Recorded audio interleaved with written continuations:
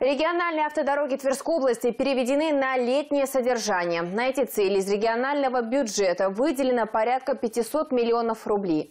Все работы, выполняемые подрядчиками, предварительно согласовываются с Дорожным фондом региона, который ведет постоянный мониторинг качества. В настоящее время в Тверской области формируется проект региональных стандартов содержания дорог. Предусмотрены новые требования к проведению этих работ, которые будут закреплены документом и обязательны для организации, обслуживающих дорожную сеть Верхневолжья. Важно, чтобы независимо от погодных условий состояние дорог отвечало всем требованиям безопасности, считает губернатор Игорь Руденя.